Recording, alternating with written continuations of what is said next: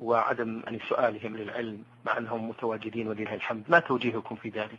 توجيهي في ذلك هو أن الواجب على الإنسان أن لا يقوم بعبادة ولا سيما الحج الذي لا يكون إلا نادرا في حياته حتى يعرف ما يجب في هذه وما يمتنع فيها. وينبغي أن يعرف أيضا ما يسن فيها وما وما يكره.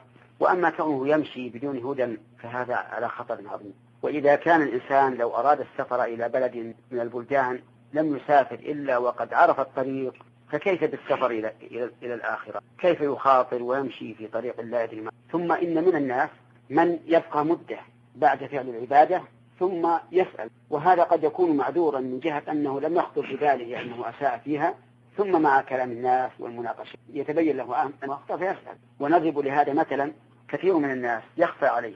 أن الإنسان إذا جامع زوجته وجب عليه الغسل وإن لم ينزل. فتجده قد عاشر أهله مدة طويلة على هذا الوجه ولا يغتسل. ثم بعد سنتين أو ثلاث يسأل. وهذا خطر عظيم لأن هذه صلاة.